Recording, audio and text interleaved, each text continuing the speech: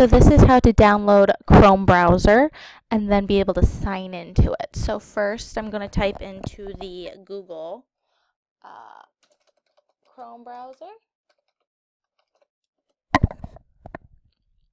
Then I'm going to go to the first one. So get a fast free web browser. So download Chrome. Alright, set Google Chrome as my default. Tell me, but uh, yeah. You can if you want, you don't have to. Alright, I want to save the file. I let it think for a moment. Then I'm going to open what I downloaded and hit run. Now, if you're at school, the tech guys Tim and Mike can download it for you on your work computer. However, you can do this at home and you'll actually be able to get all of your bookmarks that you use at school on your home computer and what you have at home on your school computer. That's why I am in love with Google and Chrome right now because I don't have to save in both locations. I can save at one and get it in the other. So now we wait for it to download.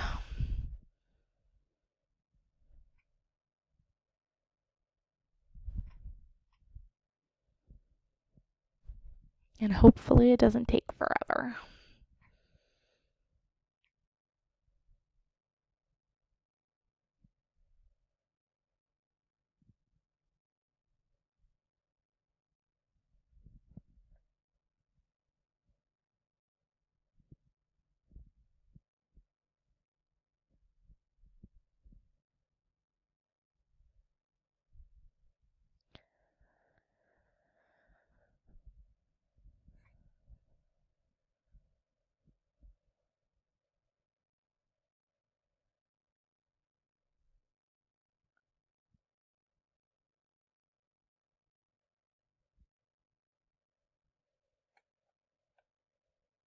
Almost there, hopefully.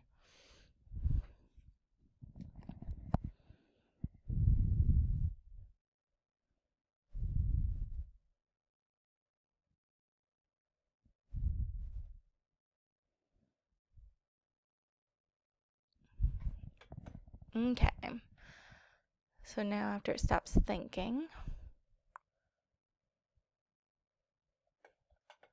let's see if it's now on my computer.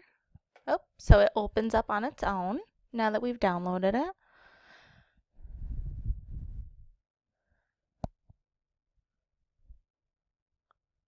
And we wait.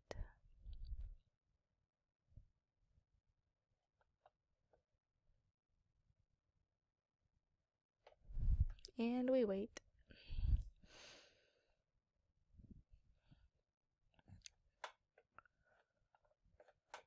So if you go up, yeah, yeah, yeah. So if you go up to that person up in the upper right, so it says sign into Chrome. So this is where you want to sign in using your Google account. I use my school Google account because that's primarily what I'm using it for. So it'll let you sign in once it pops up.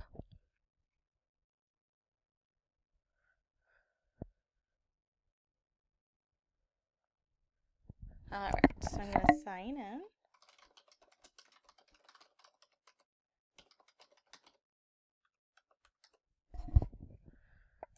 Okay.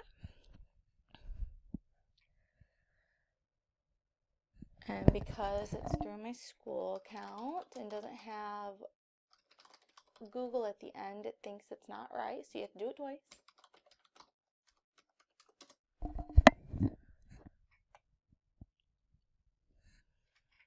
Yeah, yeah, yeah, yeah.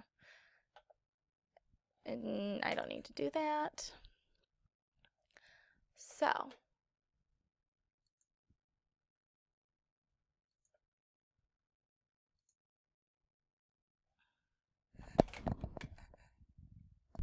So now, if you clicked up at the top, you see that I am signed in. All right. And it will import my book. See, I didn't even have to click it. Up at the top, all my bookmarks are up here that I use for school or use at school. And also I have created a theme that is green, so I definitely know I am signed into my account. Now, if you have multiple accounts, you can switch your person.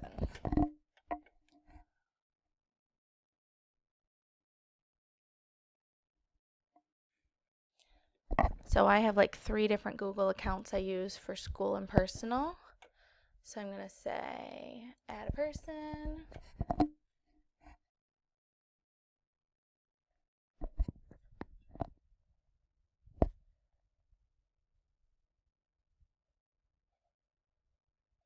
And we wait.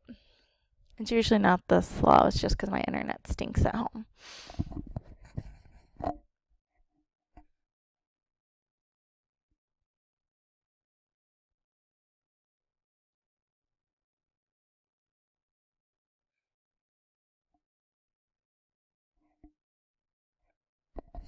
And if you notice in the upper left hand corner, it does say it's doing Chrome sign in.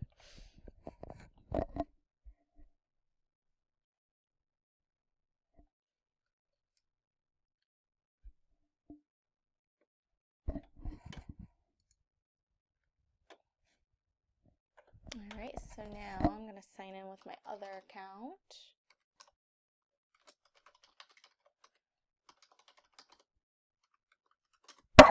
I'm not really sure if that's the right password. Oh, and there we are. So there's my other account.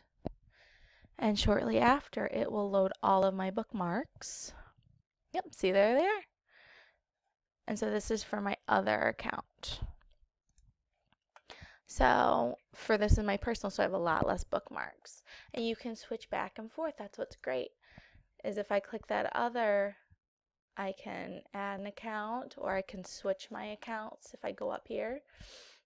So this is why it's great is I can go back and forth very easily from one account to another all through using Google. And my pass or my passwords are saved, plus all my bookmarks are saved. So I hope this gets you to use Google Chrome browser.